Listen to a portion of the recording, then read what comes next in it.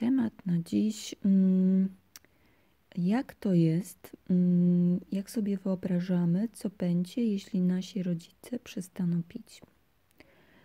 E, jedna z sesji grupowych e, przypomniała mi e, o takim moim wewnętrznym pragnieniu, myśleniu, że jak moja mama przestanie pić, to nasze życie będzie wyglądało już normalnie. Było trochę takie magiczne myślenie, że wystarczy wyeliminować tylko alkohol z życia i wszystko się ułoży i wszystko będzie cudownie.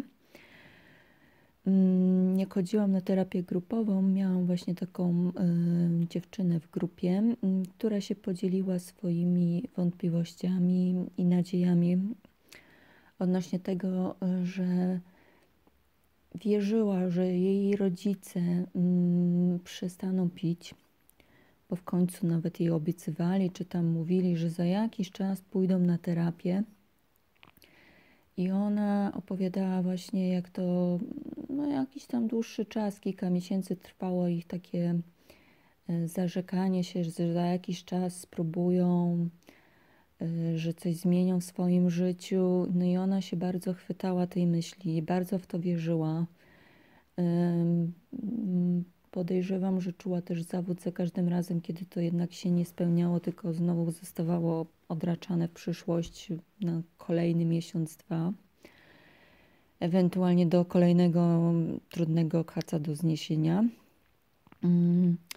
I później w informacji zwrotnej opowiedziałam jej moją historię ja też podobnie mm, myślałam, że wystarczy tylko właśnie przestać pić, że mój rodzic przestanie pić i wszystko się automatycznie zmieni. I wtedy sobie uzmysłowiłam, że tak naprawdę alkohol nie jest problemem, tylko to, jak dana osoba pijąca y, używa tego alkoholu, jak go postrzega i co nim chce zastąpić.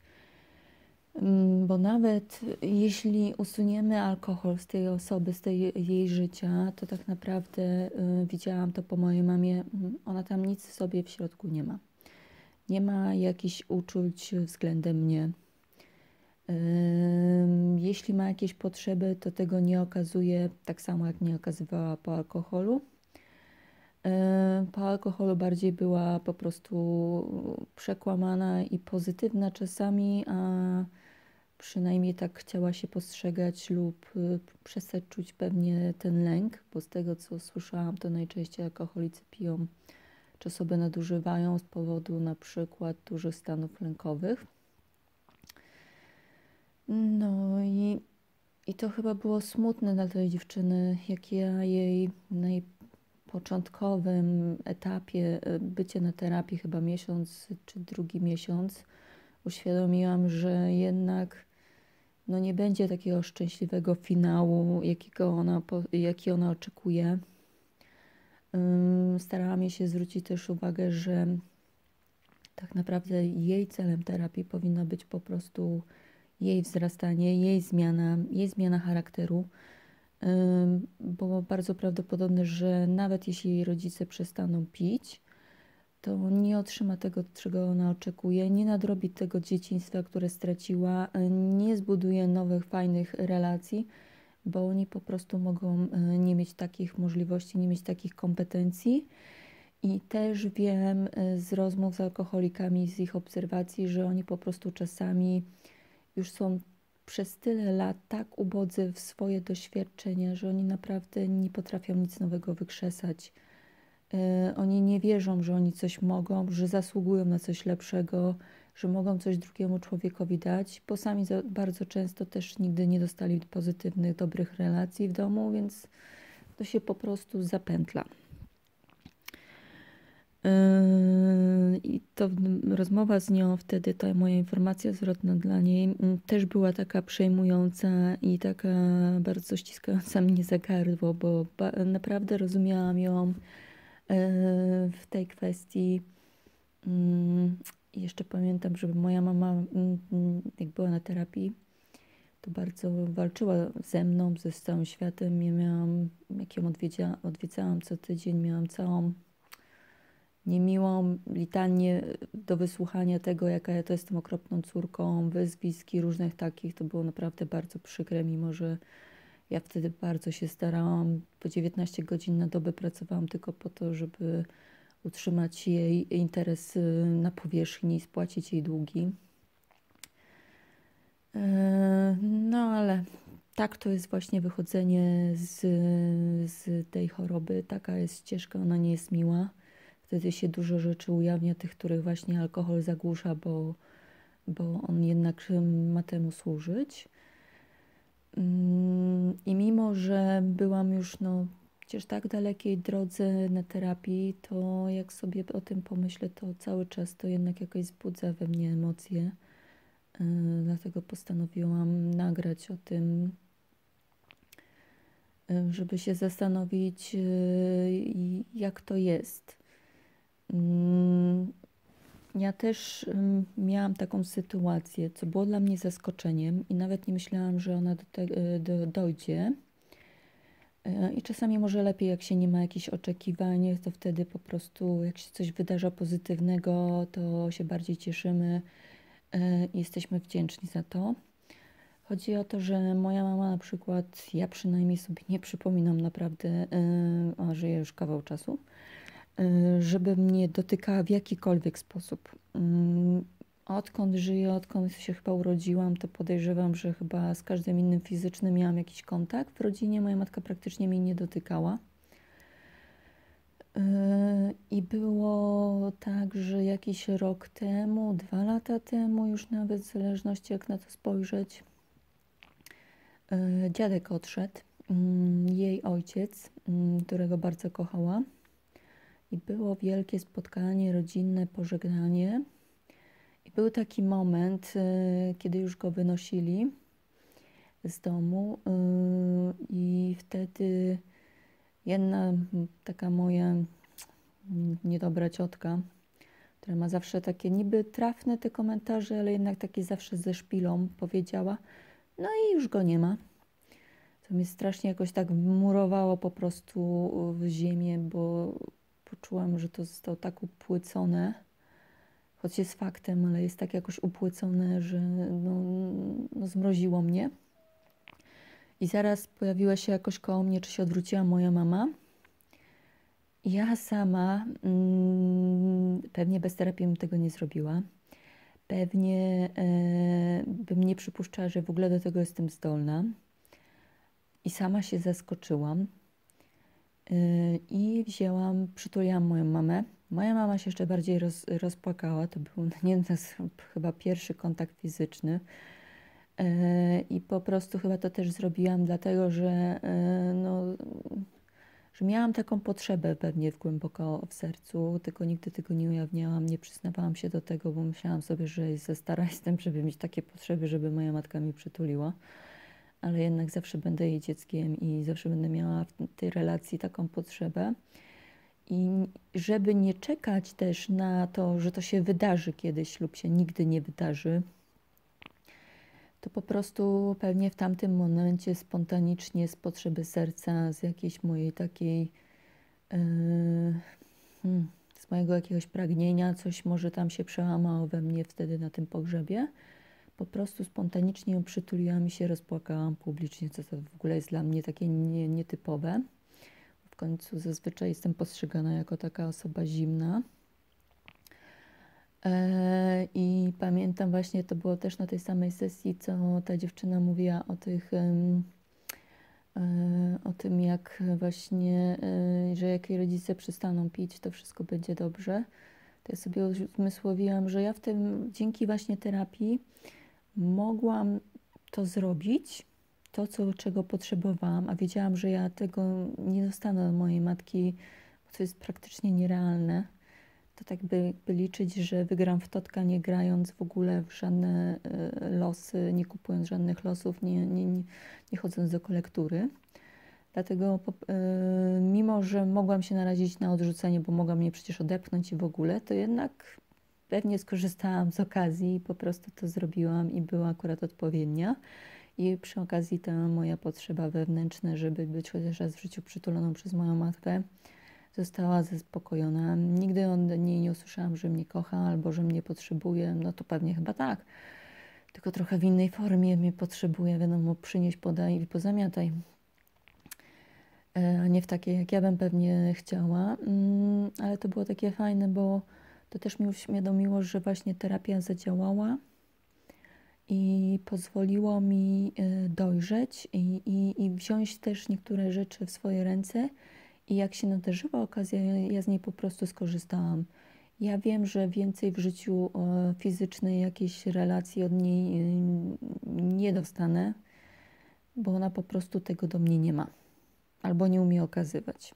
Ale podejrzewam, że ona po prostu tego nie ma, bo widzę też, jak traktuje inne osoby. Bardziej może się stara tak dawać, że jest wszystko ładnie, bardziej je słowem bajerować, tak nęcić, prawić komplementy, mówić miłe rzeczy, ale tak naprawdę, jak ona kogoś dotyka, to jest to wszystko takie mm, sztuczne. Takie jak przez osobę, która by była po prostu chora E, fizycznie, tak nie umie tego zrobić tak miękko, tak jak ja na przykład to robię, tak jakoś spontanicznie, tak jak ja to potrafię robić, e, tak, tylko że ona to czuć, że ona się boi tego sama, tego okazywać, tych uczuć, tych, tego dotyku. No i to jest moja praca i moja zasługa, a nie tego, że moja matka nie pije, bo ona tak naprawdę ona nie pije tylko przez kilka lat Teraz od kilku lat piję. Ja na szczęście już nie mieszkam z nią, więc nie przyjmuję tych wszystkich jej jakichś różnych ochów, echów, e, jakichś jej problemów, tego, że ona pije, też już nie biorę do siebie, bo po prostu e, mam z nią mały kontakt. E, no i często, gęsto jest też tak, że po prostu po spotkaniach z nią muszę to jednak odpocząć, bo ona mi nie daje energii, tylko mi ona ją odbiera my też obie tak za bardzo na siebie negatywnie działamy i, i, i to po prostu im mniejszy kontakt, to wiem, że jest lepiej dla nas obu. Um, dlatego warto się pozbyć, co jest bardzo trudne, tych złudzeń naszych, tych założeń, że e, wystarczy przestać pić, wystarczy pójść na terapię, wystarczy, nie wiem, Y, rzucać solą w zalewe ramię, to to wszystko będzie po prostu już dobrze. No, no niestety nie. To tak nie wygląda. Jedyną rzeczą, na którą mamy wpływ w jakimś stopniu, pewnie w 100% nie, to są nasze emocje i jak nimi zarządzamy, jak je przyjmujemy i jak je wysłuchamy. Jeśli wysłuchamy, pozwolimy im być, y, to one będą z nami współpracować, będą dla nas komunikatem, a nie po prostu czymś negatywnym, czy, czy, czego nie chcemy czuć. E, I dzięki temu, że jeśli będziemy właśnie tacy bardziej mm, pozytywnie akceptujący co do swoich emocji, co do siebie, to nawet jeśli spotkają nas nieprzyjemności, odrzucenie, różne trudne sytuacje na zewnątrz, e, łatwiej nam będzie przez to przejść, bo będziemy wiedzieli, że to są czyjeś sprawy, czyjeś e, mm, sposoby okazywania uczuć, a nie nasze.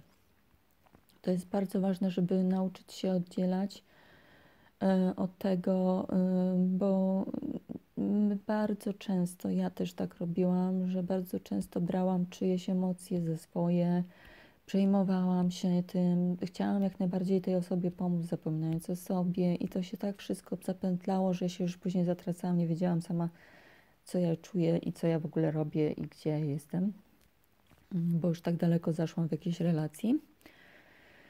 Mm, e, no i podstawą każdej pracy nad sobą powinniśmy być my sami, a nie to, jak się zmieniają nasi rodzice czy osoby uzależnione, z którymi mamy kontakt, bo oni się najczęściej nie zmienią.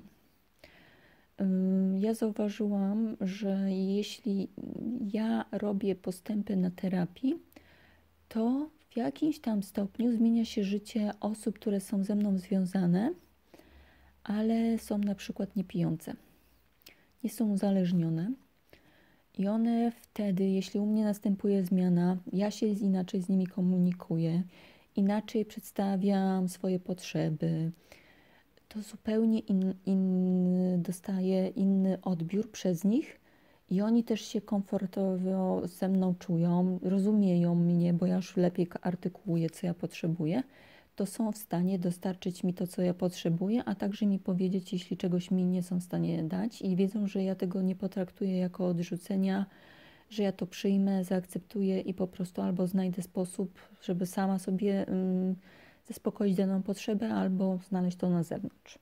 Czyli nauczę się zarządzać sobą i to zadziałało na przykład w relacji z mną i z ojcem, ale także z innymi osobami. I to po prostu po pewnym czasie procentuje. Niestety życie czy jakaś próba nawiązania relacji z osobą uzależnioną, która tym bardziej pije, jest bardzo trudna, czasami wręcz niemożliwa i często, gęsto lepiej po prostu odpuścić. Najważniejsze, żeby się zająć e, sobą i swoim rozwojem i swoim wzmacnianiem wewnętrznym, a nie tym, żeby po prostu pielęgnować, troszczyć się, zaspokajać potrzeby osoby uzależnionej, bo to tylko pokazuje, że jesteśmy współuzależnieni i pomagamy w życiu tamtej osoby, a nie w swoim. Mamy tylko to jedno życie, ono no, nie jest wymienialne, nie możemy dokupić nowego.